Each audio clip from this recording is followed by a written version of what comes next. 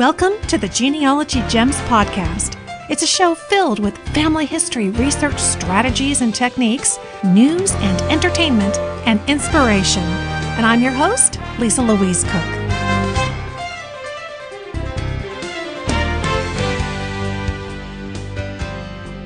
Hello and welcome to Genealogy Gems podcast episode number 154. I've been on the road pretty much on a constant basis since the beginning of the year, and I'm having a blast getting to meet so many Genealogy Gems listeners around the world. I kicked off the year in Mesa, Arizona at the Family History Expo, then headed across the pond to speak at Who Do You Think You Are live in London, the huge genealogy conference there. Then there was the Southern California Genealogical Society webinar that was on time travel with Google Earth. If you're a premium member, and I hope that you are, then perhaps you've had a chance to take a look at that premium video. We recorded that particular webinar um, because it, we really rocked our ancestors' world in that one. Then I was off to Salt Lake City, first to teach some YouTube marketing strategies at the Association of Professional Genealogists. And then we headed straight into Roots Tech, which once again was bigger and better than ever. After seeing tons of you at Roots Tech, I've been to Lakeland, Florida for a full day seminar to a very enthusiastic group of genealogists. And then from the balmy weather of Florida up to the snowy white north of Edmonton, Alberta, Canada, where the Alberta Genealogical Society once again outdid themselves with another terrific conference. I had the privilege of bringing the great Google Earth genealogy game show to their banquet, and boy was that a hoot. After Alberta, I was off to Cincinnati, Ohio, which is home of Family Tree Magazine. And as you know, I host the Family Tree Magazine podcast. So I got a chance to catch up with Allison Dolan, the magazine's publisher, and all the folks at Family Tree Magazine, um, as we were all there for the Ohio Genealogical Society conference. Are you tired yet? I'm, I am just a little bit as I've just gotten home from Cincinnati, but there's a lot more genealogy fun to come this weekend as I head out to Memphis, Tennessee. I'll be doing a full day seminar for the Tennessee Genealogical Society this Saturday, and from there it's off to Las Vegas. Sort of kind of feeling a uh, an Elvis theme there, don't you think? And that's for the National Genealogical Society conference. You can check out all my upcoming live events on my website at genealogygems.com. Just click the seminars tab in the menu now, if you didn't get a chance to attend a genealogy event this year, don't fret. Because in today's episode, while I'm going to get back to my laundry and packing for Tennessee, you're going to hear two recordings that we did at Roots Tech. First up is Jay Jordan. He's the president of OCLC, which you may know as WorldCat. We got a chance to sit down at Roots Tech to chat about their new partnership with Family Search, which is going to bring the Family Search catalog to WorldCat. And then you're going to hear 10 top tips for how to bust through your genealogy brick wall. The winner of the Roots Tech registration that we gave away here on the Genealogy Gems blog, Sarah Stout, got an opportunity to sit down with me and Canadian genealogy guru Dave Obee to talk about her brick wall, which spanned the Canadian and the U.S. border. But really, the locations weren't the important part here. The 10 tips that Dave dished up can really be used by every family historian to achieve genealogy success. So sit back and relax, and let's head back to Roots Tech.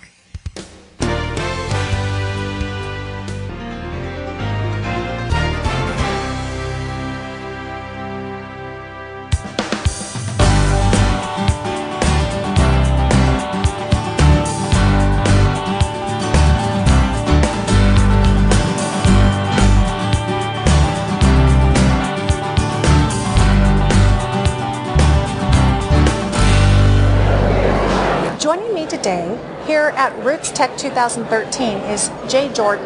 He's the president and CEO of OCLC. Welcome to the show, Jay. Thank you very much, Lisa. Thanks for having me. Now, I was going to say the full name, but you said no, most people will know this by OCLC, but tell right. us what the full name is of the company. uh, Online Computer Library Center. Right. That's what the OCLC stands for. Now, the name I always think about is WorldCat and yes. worldcat.org. Right. What's the relationship between OCLC and WorldCat? Well, World, WorldCat is really kind of the, the center uh, of everything we do there. Uh, it was the founding principle of OCLC to build this shared resource for libraries. When it was founded, uh, WorldCat was actually turned on as a database in 1971. So it, it contains now uh, you know, almost 2 billion holdings from libraries in, in uh, around the world. So we operate in 170 countries, and there's about 70,000 libraries that, that do some form of cataloging or resource sharing or interact with OCLC. Exactly. And, you know, I know a lot of you who have listened to the show or uh, even in my book, How to Find Your Family History in Newspapers, I do a whole section on WorldCat because it is such an incredible resource. And it's not just public libraries. We're talking corporate libraries, universities. It really broadens the reach of where we might look for resources. Yeah. I think, uh, and beyond that, so it's got many, many university libraries from around the world, but increasingly we have national library collections. Oh, uh, and we have something called Archive Grid, which is 5,000 archives representing 2 million collections in Archive Grid. So there really is a lot more to mine there uh, than just uh, what you would think of as a book collection in a public library. Yes. The world's largest card catalog, right? Yeah, that's right. Now, some, I'm sure many of those collections come to you because you're working together with international partnerships. This indeed. is a, a, global card catalog, if you will, is it not? it, it is indeed. It's, and yeah. has that always been the focus, or did you start focusing here in the U.S. and well, your way out? Yeah, it's the founder was hired to to create uh, a, a more useful model in Ohio initially, just in, in uh, 54 colleges and universities there. Then it turned out to be a pretty good idea. So the folks over in Pennsylvania said, hey, can we get in on this and so on. So it, it kind of moved out from the, its founding birthplace in Ohio. Uh, and increasingly, we've really pushed hard to make sure that those great international collections are represented in it. So increasingly, it's become a global resource. And we have lots of more work to do ahead of us, too incredible. And the reason that I really wanted to snag Jay and have him meet with me here and talk with you is because they've got something really exciting going in terms of partnerships with Family Search. And of course, Family Search is sponsoring Roots Tech, which is bigger and better than ever. Were you here last year? No, I wasn't. This is my first one. they moved everything around, so we're all still looking for the doors. Yeah. But who wants to leave, right? Um, but Jay, tell us about the partnership with the Family History Library specifically and their catalog. Well, we're we're very excited. I, I think on both sides. We I all think are. I can. Well, I think I can speak for Family Search on Yeah. this one too. Uh, we've talked about it for quite some time. Uh, it's a very logical relationship. Uh, we're both, you know, inf- information organizations interested in providing much lowering the barriers of access to information. Right. Uh, specifically, uh, that which is housed in libraries or that which has to do with family history. So I think the symbiosis that's, that can be achieved with this relationship is we haven't even imagined how exciting this can be. So libraries will drive traffic to, you know, and it, a, a serendipitous discovery of somebody using a library will drive traffic to Family Search and all of their assets. And by the same token, somebody in Family Search will be linked into WorldCat into libraries. So it might say, gee, were you aware that that particular object is available to you at your public library, which is exactly two blocks away from your house? That is one of the coolest features of WorldCat. I love that it reorganizes the listings geographically so you know, even though you might be looking for something across the country, it turns out it's at the university down the road. Right. And, and you've got access Yeah. to it. Now, Family History Library, in as my understanding is traditionally they have not done interlibrary loan with public libraries. and Uh, so some, I think they have a few special a few partnerships, special but So when we find something on WorldCat Yeah. and it says, hey, this is something that's with the Family History Library, this is then I guess just pointing them to Exactly. how you would access it, even if it isn't through interlibrary loan. Well, and you know the family history centers. There's you know almost 5,000 family history centers around the world. Right. So part of my imagination says, not only is there a public library down the street, but if you're really interested in pursuing serious genealogical research, how about there's a you know family history center Yes. in the next town over? It was interesting. Someone stopped by our stand today and said, "Well, I don't get the WorldCat thing and what it does for me." And I said, "Well, you know, let- you're doing research and He says, yeah, I get that, but what if the only copy's in Denmark? What good does that do me in Utah? I said, well, that's an interesting question. I said, number one, I said, at least you know it exists. Yes. That's, you know, a big net gain there. And you may choose to vacation in Copenhagen so you can access some register that's of interest to your research.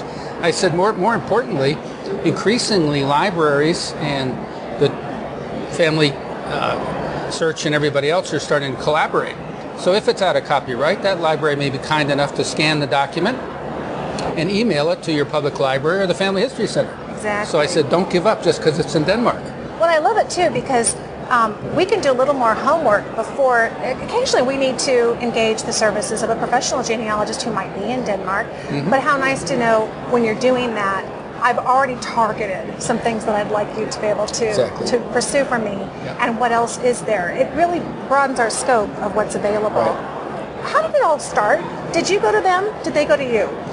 Uh, How did you know there was going to be That's a, a good question. I think connection? they, I think they actually pinged us first. Yeah. uh, so I'll give them all the credit. Um, but you know, they they they just thought about this. They knew uh, WorldCat was you know the most used database in higher education year Right, over year over right. year. So they're like, wait a minute, there's huge assets in these libraries. Um, you know, why don't we strike up a relationship? So we started these conversations some time ago uh, and you know got comfortable with each other and so on, and then figured out exactly what the construct might look like. And then of course we got the lawyers involved, but we have actually got the still documents. made it. It's still We Still happen. made it. so everybody worked very hard on the agreement. So. Well, one of the advantages they have, thinking of it from the terms of genealogy, is they're going to have a lot of surnames associated with Mm-hmm. materials. WorldCat doesn't necessarily come from that perspective. But what I thought would be kind of fun is, you know, you do your, your general WorldCat search, and while it says Family History Library, there's a couple of other libraries.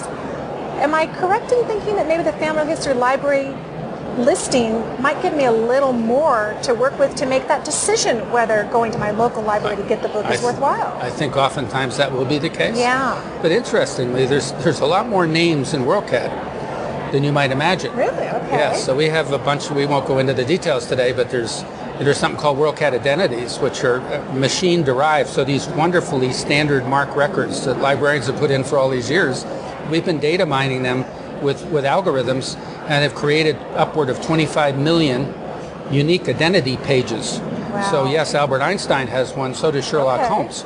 So so they're really subjects, not real Right, people. right. But there's a lot of proper names and surnames in there. There's another service we have called the Virtual International Authority File, where we have these the uh, authoritative person name authority files from Uh-huh. places like the National Library of France.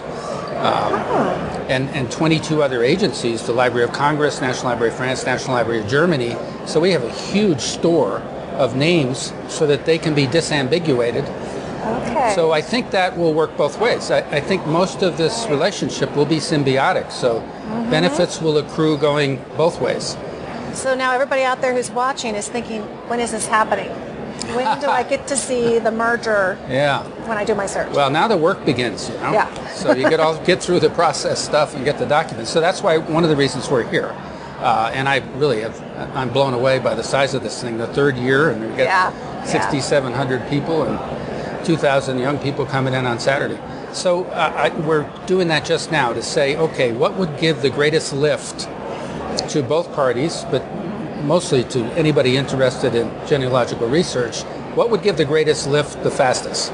We have to get the data piece right. You know, data quality is what it's all about, obviously. So we don't want broken links, we don't want dead ends. So we've really got to figure that out first. And then I think there's all kinds of adjunct benefits that we can bring to bear, uh, both from Family Search and from OCLC. Is it going to be kind of a, uh, bring it out in waves? Is it going to be one big launch, do you think? No, well, I, I think we're going to have to do it sequentially. Yeah. So I think the data piece we should probably try to bring out. You know, we need critical mass of data, so we don't want to dribble that out. So I think we'll get the data piece done, and you know, make a, a, a big launch with that. And then as we figure out these ancillary benefits, that we can bring those out in a, as features are released every, you know, quarter, however we can figure out how to do the engineering. Right. Wow.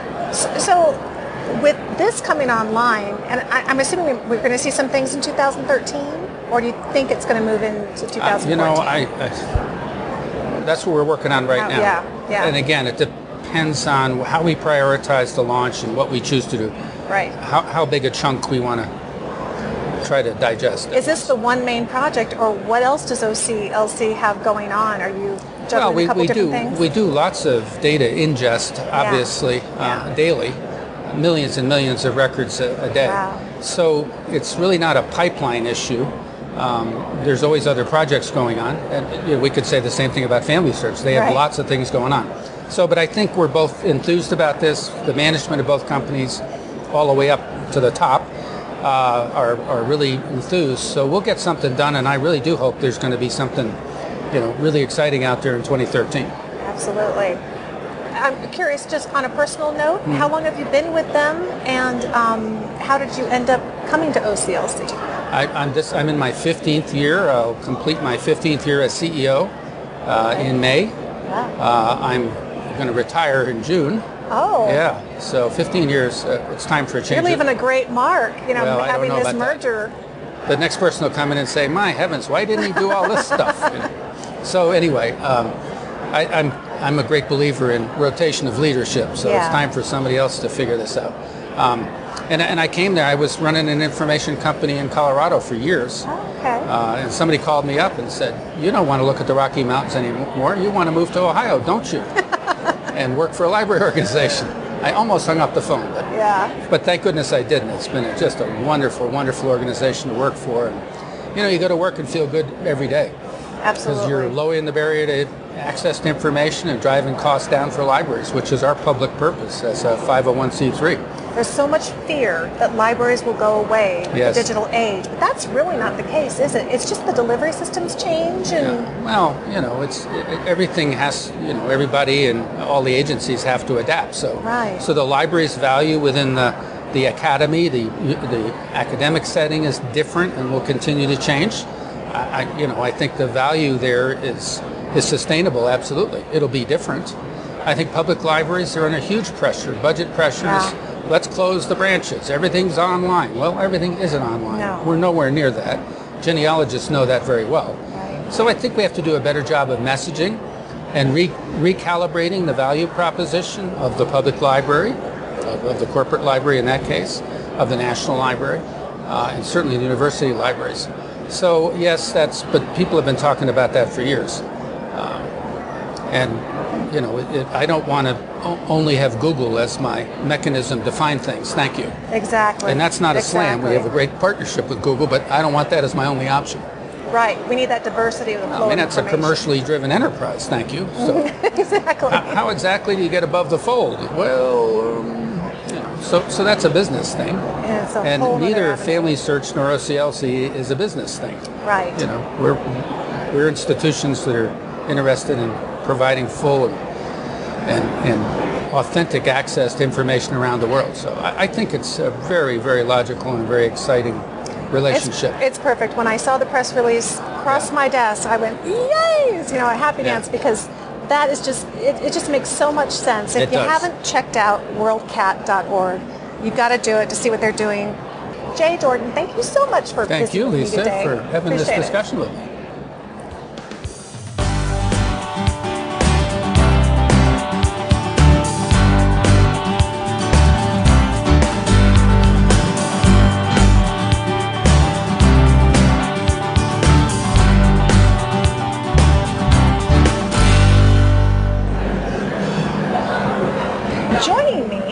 Is the winner of a Roots Tech 2013 registration. Now, if you've listened to the podcast, you know we had a little contest uh, before the conference rolled around, and I was asking folks who they most wanted to hear from here at the show. And our winner is Sarah Stout. Welcome, Sarah. nice to see you here. And of course, when Sarah emailed me, um, she was talking about some Canadian research that you were doing and some challenges. And I thought, she said that she wanted to go to Dave Obee's class here at Roots Tech. So of course, I got my little wheels spinning and realized I got to get these two together. And maybe those of you out there with Canadian research would also benefit from a little one-on-one consultation. So here joining us is Dave Obee. Canadian expert, and the author, of course, Destination Canada. And tell us also, you just received a doctorate, did you not? Yes, I have an honorary Doctor of Laws from the University of Victoria in British Columbia based on my work as a journalist, as a historian, and a genealogist. All three are mentioned in the citation. Fantastic. And, and tell us, of course, where your journalism area lies. I'm the editor-in-chief of the Times Colonist in Victoria, British Columbia. And I've, I've been a journalist now for about 40 years, and I've been working on genealogy for about 37 years. So really, it's all they're, they're one and the same thing. It's a matter of getting collecting information and processing it for other people to use. Exactly. Researching today, researching yesterday. Yep. Have I got the right guy for you? I oh, think sure. so. okay, so what I want you to do, Sarah, is share with the audience and, of course, recap with Dave what some of your challenges were in your personal research. Okay, well, um, I started with an ancestor, um, and her name was Elizabeth Josephine, and we had a surname, and then we found, um, sorry, we found a, a, surname in some books, and it was Brown, and then um, we found a death certificate that seemed like it would go, and it was the right time, right place, and it had Macaulay, so I kind of ruled it out until I started researching her uncle that she grew up with in the census records in Canada, and so um, there was an Elizabeth Macaulay there, and so I got to thinking again that maybe perhaps this could be her as well, and nothing really proves it yet, but it, that's where I'm kind of tossing and turning. Is she a Brown or is she a Macaulay? And so that's kind of where situation is, I guess. Diving through all of the records on, on that, you, have given me a variety of different different documents and so on, a summary of the entire case. It's it's I find it fascinating. This this is one that I think sort of pushes the very very limit of credibility, just in terms of how cool it all is um, the connection, the strong connection to Atlantic Canada, to Montana. She dies in Arizona many years later. Like it's all over the map, basically, and just the number of different connections there are, um, the number of marriages that she had, um, and possibly another liaison that she had. Like this, this, this uncle. Maybe it's not really, really her uncle. William Seward Brown might have been the father of her first child. Now that could be the family connection. You know, so it all gets to be very, very interesting. And again, it really pushes the limit. But again, I've checked, as far as all the records I've checked, it all seems to check out. Which, which means you've got a great story. I wish, I wish these people were my ancestors. Many other people have been doing research on this line. Uh, their, their, their, their work is on ancestry, family tree, that kind of thing. Um, you have to be careful about that kind of thing because you don't know who is simply sharing information back and forth. A lie repeated over and over is still a lie, that kind of thing. It's not confirmation that it's true. Um, that said, there are some things that you could be doing to sort of make sure that you're on the right track. Um, I think this is a classic example, a classic case for a, a timeline. Putting everything down, her life, and, and some timelines, when you talk about a timeline, you talk about putting her life in the context of everything else happening. I think in, in, this case, her life, everything, everything that you have solid, concrete about her life, start to finish, get it all down there, including uh, date, location, and what the event was, that kind of thing. It's a, it's a natural because you've, you've got such a, a, wild story. You've got so much to sort of explain here. The timeline will help it, and the timeline also makes it much easier for you to see the holes, any holes that there might be. Um, another thing that you should be doing um, I, I, tell people that they can't do proper genealogical research unless they understand geography. And you've got some pretty wild geography. Again, you know, fascinating guide, you know, crossing, crossing the Atlantic all the time back in the 1860s, uh, 1870s, 1880s, etc. And then, you know, one of the pioneers in, in Montana. Wow. and, and she was married to both these guys. And allegedly, she got to know the guy from Montana because she, she filed, she sent a letter off to a Lonely Hearts type newspaper. It gets really interesting, you know, like just the different connections. And so, so you, you, you could probably do research for the rest of your life on this one person and not get it all. Yeah. Um, it's, it can be possible. Check which newspapers had Lonely Hearts type things, which national publications there were. Try to find his ad, try to find her ad, see yeah. what there is. Okay. Um, it's, it's, it's not impossible. I was told one time about a connection in Ladies Home Journal. Someone was inspired to do something because of an article in Ladies Home Journal, and I tracked it down. It, you know, it was 10 years, she, it was a back issue, so I didn't know the exact date, but 10 years before she read it, there was a, a, a piece was published in Ladies Home Journal, and, and that makes the story come alive when you can say that, hey, that was what motivated it. Anyway, geography, I think you really have to have to pay really strong attention to geography, get a, get a big map of, of most of North America, show her, place her where she was at different times, Okay. even do put arrows on to show her movement back and forth. And again, see which records would have happened all along the way. You want every possible reference you can get to this woman uh, and her husband's. Uh, you want to find all that you can, and because you know from from from from New York to Atlantic Canada to Montana, back to Connecticut to Arizona, that's a lot of travel. And every time she changed addresses, she she, she changed husbands as well. It seems so. Like it's almost, it's, almost, almost. Towards the end, she got. I think she was getting tired. Whatever. Anyway, um, but but but it's worth doing that just to sort of keep track of all that. And, and and the reason you're doing both the timeline and the geographical mapping is to look for other sources, look for other things that you might have missed, and also just confirm everything that you're doing all every step along the way. This is also, I think, a classic example of the need for newspaper research, especially in Newcastle, New Brunswick, which is where the where where the family was for a while. Yeah. Um, New Brunswick uh, civil registration documents are not the best. I've got ancestors there, I've got relatives there, and, and they don't appear in the in the records. Um, and, and so you're dealing with a time period when things might be a bit flaky, the census might be a bit flaky. Remember how the Canadian census was put together. It's not necessarily made up of people of the people who were in the household that night. It's the people who should have been there and and people who are just visiting overnight will not appear in the census, even though you know the opposite is true in other areas. Uh, so be, be aware of that. Just because you don't find him in the census doesn't mean he wasn't living there. Yeah. But he, he might have just missed the, the cutoff in some way. Um, I would I would dig into the newspapers in from Newcastle. I would read basically for it's a small town. I'd read every local story. Just see what you can find. Yeah, I'm sure you'll find many references to William Seward Brown. He was very very active. I think you'll find a lot of information doing that. Um, and the really tough part, locals always know more than people at say the the, the, the library here, for instance. Yeah. Locals know more. So get in contact with the any local historical society, the genealogical society there, any of any people there who might know some trivia or might know some dirt. I I was stymied one time on one of my research projects um, in Virginia. I couldn't find find any record of, of, of deaths of my of my relatives in Virginia, and when I went to the library in Manassas, Virginia, they said you should try this farmer's diary. He recorded everything in it, and I looked in their transcript of a farmer's diary, and it had the deaths of my relatives. Wow. I would not have thought of looking at that. You know, but the locals, the locals know these sources. The locals have a better idea of this kind of thing. If you possibly can go there, go there, because you'll learn a lot more just walking. It's a small enough place. Um, like the, the, the concept that, that, that, that the border was somehow fluid or whatever at the time was true, like between Canada and the U.S. okay.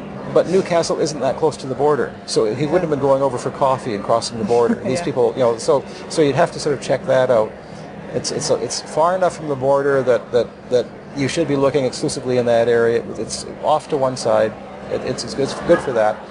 And the other thing I would do, and this is one of the reasons why your research could take the rest of your life, because you're dealing in some in some cases with relatively common names, like Brown and Johnson and so on, you you pretty well have to do almost negative proof. You have to be looking.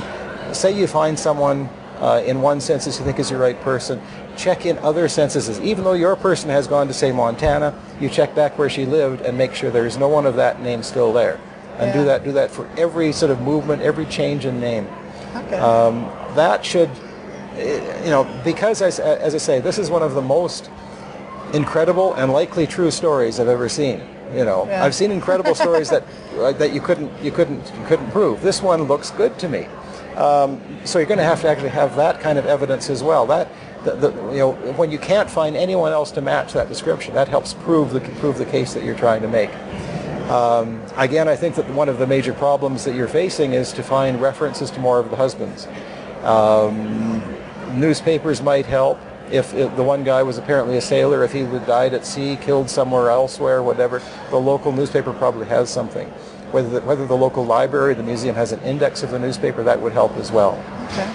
But many many things along that line. And of course, I know that you're in contact already with people on Ancestry who've done a lot of research on this family as well.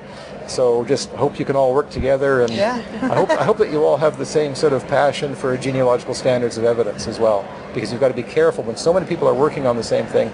Always be careful of that.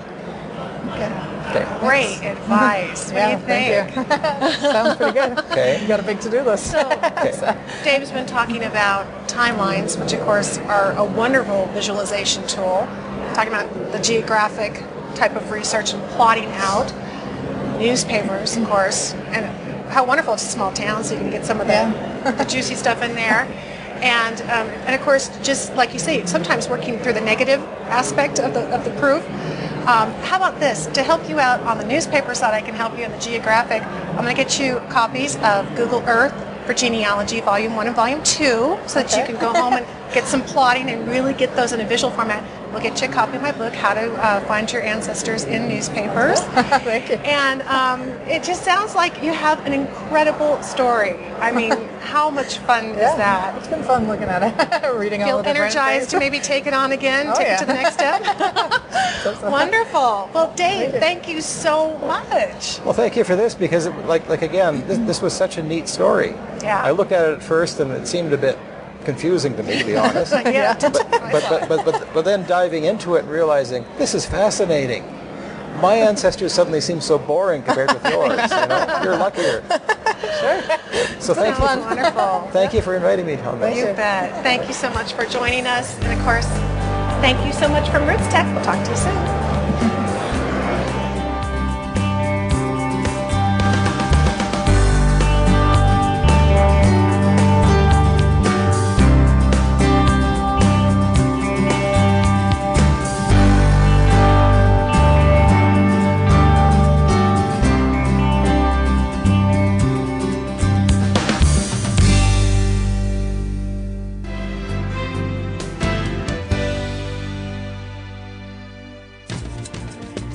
Profile America, Saturday, May 4th. By presidential proclamation, this month recognizes one of the nation's fastest growing population groups, those of Asian and Pacific American heritage. The observance began in 1978 with a joint congressional resolution honoring the arrival of the first Japanese immigrants in the 1840s and the completion of the Transcontinental Railroad in 1870 with the help of Chinese immigrants. Now, 18.2 million people in the U.S. are of Asian heritage, approaching 6% of the total population. California has the largest number of this group at around 5.8 million. Hawaii is the state where Asians make up the highest proportion of the total population at 57%. You can find more facts about America from the U.S. Census Bureau online at census.gov. Thanks so much for joining me for this Genealogy Gems podcast episode number 154. Now, head to the show notes because we've got lots of good information there for you for episode 154. You can find the Genealogy Gems podcast show notes by going to genealogygems.com, click podcast, and navigate your way, follow the links to episode number 154. And there you're also going to find the video versions of the two interviews that you heard on today's show. If you have any questions or comments, of course, get a hold of me at genealogygemspodcast at gmail.com, or you can leave a voicemail on the voicemail line at 925-272-4021. Okay, thanks so much for listening, friend. I'll talk to you soon.